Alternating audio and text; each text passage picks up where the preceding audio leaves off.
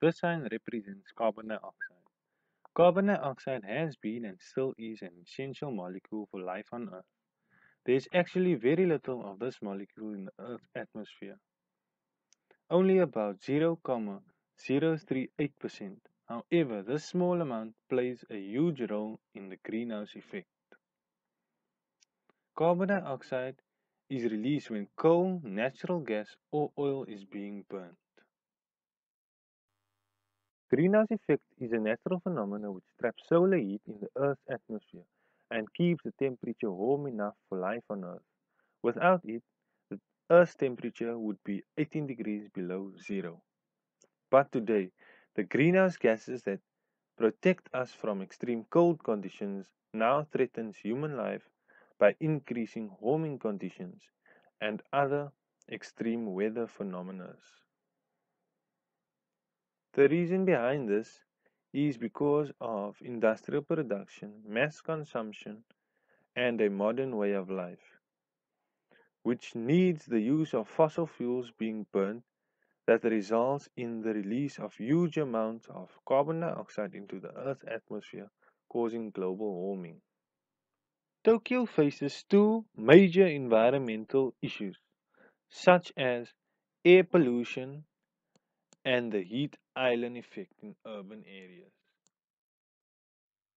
In the stabilization wedges, I will find ways to reduce Tokyo's carbon emissions using modern technology.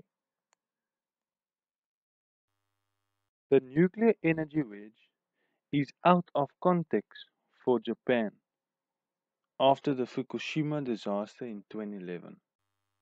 With Tokyo's population increasing, there is a growing number of vehicles on the road. This brings me to the first sustainable wedge, efficient transport, doubling the efficiency of all world vehicles from 30 miles per gallon to 60 miles per gallon. Or people could even start carpooling to work or school. Second wedge I will be implementing is reducing miles traveled by passenger vehicles. This could be reduced by people using more public transport. The government must make transport cheaper and reliable for citizens. Third wedge, increasing electricity efficiency by changing the standard light bulb to the economically efficient LED light bulb, thus saving money and electricity. Of electricity from coal power stations with natural gas. The first wedge I will be introducing is solar electricity. Equip houses and other buildings with solar panels or large areas of land.